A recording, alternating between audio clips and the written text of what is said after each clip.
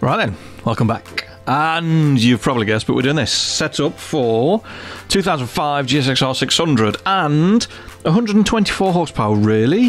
124 horsepower stock 600. I'm surprised, especially one from 2005. But anyway, great bike, great colour scheme. Throw everything at it, and we end up with 142 horsepower and 183, down from what 195 or something like that. So, yeah, certainly has potential. I don't like the fact that you can't change the exhaust. Now it tips the scales at S781, um, which is okay. There's the electronics and the tyres. Tyres, medium soft front, soft rears. It likes soft tyres. It really does. Um, pros and cons. It is quick for a 600. Um, there is a con to being a 600. We'll come to that. Um, it is quick. It, is, it will really, really push the thousand and bigger CCC bikes. CCC bikes, just CC bikes. Uh, it's got a wonderful front end. I know I say that every time, but some bikes do, and we seem to be picking the good ones a minute. And it loves soft tyres. The cons, it can get rowdy. It can. Not as bad as the Ducati, but not far off. And it lacks a bit of grunt. It's a 600. You forget that you're racing an MV Agusta 1000 and you can't keep up in a straight line, and you can't change the exhaust. I, I really struggle to find cons with the bike. Uh, it is quick. It handles well. It will get a little bit feisty, um, but it doesn't have the grunt of the 998 to fire you out of the seat and do whatever else. So it's more interesting than Honda, more interesting than the Honda, but not, I don't think, as usable across a wider range of tracks. We have looked in absolutely looked in with the tracks that we've used on. We've done the Euro Motorfest 600 event and the in the Euro League. Um, and the first thing we're going to do is a time attack at Alton Island. Now we're already top with the MV Agusta Rivale as we've just seen, so I've got to beat myself. And ordinarily, I wouldn't have a problem with that. I'm a progressive man, and I don't believe that a self um, self abuse is a bad thing uh, when you can and get away with it. Uh, but it's a 600 racing against an 800, and it's going to be very, very difficult. We did a lot of laps, a lot, a lot of laps, and we ended up on 118.246. And if you had good eyes and you saw the time the MV set, you'll know that that isn't quite as fast, although it would have put us second, so theoretically that's top twice. Um, but how did it handle on a stock 2 and 8 setup? It was okay. I did a few laps at the same time as the event is in the Euro League, and we ended up on a 118.4. So there's only a couple of tenths in it between doing it at the normal time of day and then doing it at the 1700 when everything's nice and warm and the sun's out. Um, we did make a couple of changes. We took one off the front preload, we added two to the spring hardness and compression, and one to the rebound, all on the front, and we took one off the rear comp. I did the original event on softs. This time attack right now in the sunshine, where we're going a little bit quicker, is a medium front, and you can see the bike is still warming that tyre up. Alton Island is hard on the front end. It's a very, very front endy circuit. Should we call it a friendly? Friendy? No, that's a little bit. Yeah, we won't go there again. Um, but yeah, it's a front end circuit. The bike handled well. You can see it wants to move about. She's not exactly Honda esque in her stability. Certainly no Harley Davidson. Uh, but a 118.246, I was quite happy with that. I thought that was a reasonably quick lap. lap and when we went back, 118.246 would put us top of the pile, apart from um, myself annoying myself because I'm already top of the pile. But you get what I'm saying. Next up was a three lapper at the Nürburgring GP sprint circuit. Now, I did it once and had the race set to five laps, and my brain imploded because I could not do that. It had to be three laps. I just, yeah, uh, OCD. Thank you. Good night. Um, but we did another three lapper, lovely sunset, the usual argy bargy down the straight into turn one. We're racing against RVF 750s, R7s, CB 1000Rs, MV Agusta, F4000s. Uh, there might be a couple of MT09s, a Katana in there. So the AI have decided that capacity, there ain't no substitute for cubes. Uh, capacity is the way forward, um, as opposed to revs and probably lightness.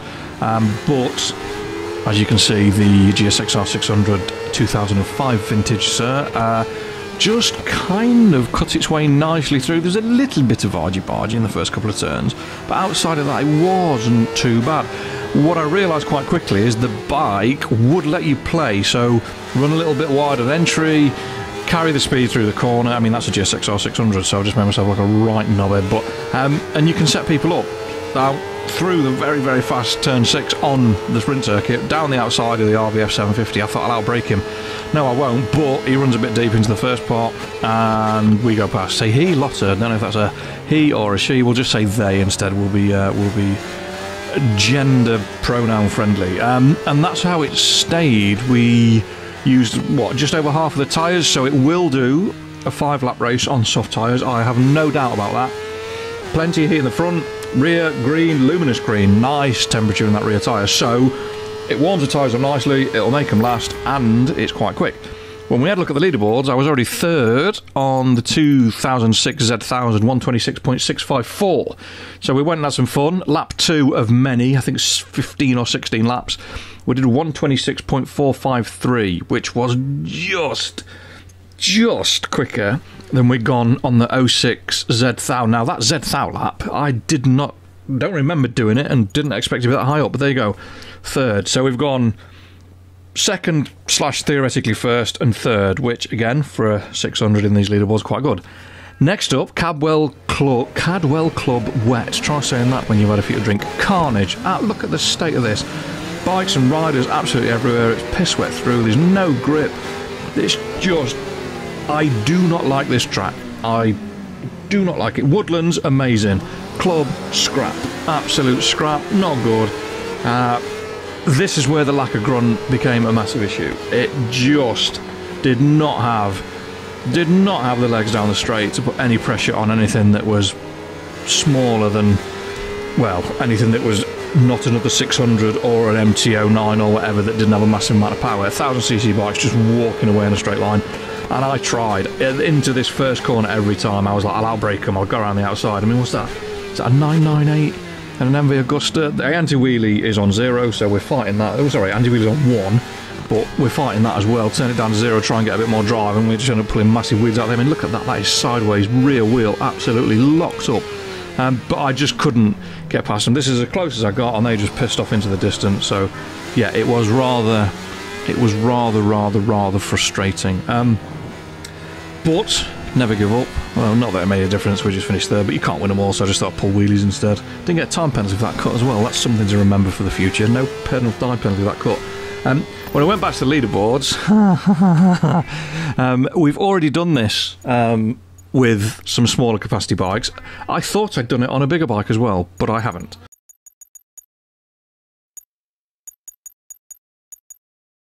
So it was a case of working out where we're going to sit, 20th ish with a time that we'd done in the wet, which was a bit of a surprise. So I went back in the dry and knocked a good four seconds, well, best part of four seconds out of it, which four to five seconds on a wet track, I think that seems to be the ballpark figure. And oops, yeah, we've just done a, a track guide there with a two stroke 250. Hmm, perhaps should have waited and done it with a 600 instead. But hey ho, it's done, isn't it? So that's top. So that's second slash first, third, and first. See, so I told you it was handy.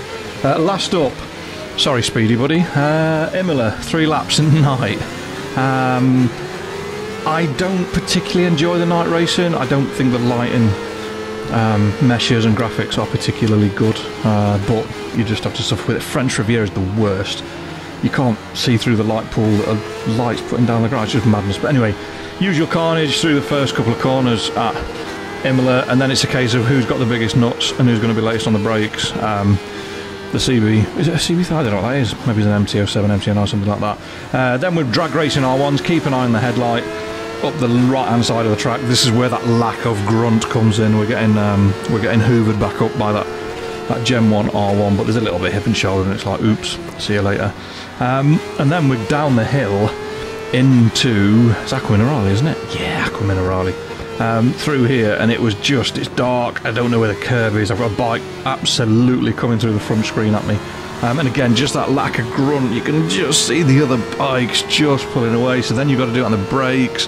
Then you smoke in the front tyre because we're on softs again, and it's just, oh, that was nice. So she came completely forgot about that. Um, but yeah, there you go. So, good bike, quick bike. If you like 600s and you want to ride something that's got an absolute gold standard capacity to fire you into the top 10, top 5, top whatever on the leaderboards, the 2005 GSXR 600 is that bike. It would not catch, and I tried, I really tried, and this is about as close as we got. At one point, I was hoovering a bit of time down that hill towards the Rivazza corners, and I thought, I'm in. I'm going to absolutely steam up the inside in the first or second, but no, I'm not. Just whatever they were on, and I can't remember what they're on, and I don't remember the result, but it was obviously bigger than a 600 because they were just slowly, slowly, slowly walking away down the straights, and it was frustrating. It was very, very frustrating. Um, and when we went to look at the leaderboards, we did a 145.907 in the race at night, so there's going to be a couple of seconds that they're coming out from from night to day racing. Um, it took me a while for my brain to get into gear. We're already 91st on the same bike. I don't remember doing the time. Uh, the bike didn't really have much of a setup in it when I first started using it, but that's where we're going to end up 66th. We did a 143.679 medium front on that, not soft, medium front. The the soft just got very very hot coming through um, some of the chicanes in the Acque Minerali and would have been 19th. Now I've had a scoot up and down and I can't see any of the GSXR 600s um, like within a, a 10 or so places of that. So, yeah, there you go. There's the setup again. Um, use it, abuse it, have a go. Just use it as a base setting. Don't. It's not the be all and end all. It's just somewhere where you can start. And I go, look, that's really quick. Use it and have a look at the setup video I did a while back, and that'll tell you what to do and where to go and what to do, and depending on what the bike's doing. And that's it. Still with me? Good. I'm tired. I need a drink, I think. Done a lot of talking. Well, there you go. Pretty, pretty GSXR 600. I think that is the best looking GSXR 600 750 series they made. 05 to sort of like 07, 08. After that, they went a bit weird. Um, but that's it. Next time, uh, we're going to be on the 2018 KTM Duke 790. Um, I haven't done those videos yet. I'm still um, in love with Gran Turismo 7. I haven't really touched my Xbox, but I promise to get them done in the next couple of days, and I'll have out as soon as I can. But thanks for watching, comment, commenting, liking, subscribing, all the usual jazz, and fingers crossed I will see you next time. Take care, stay safe, peace.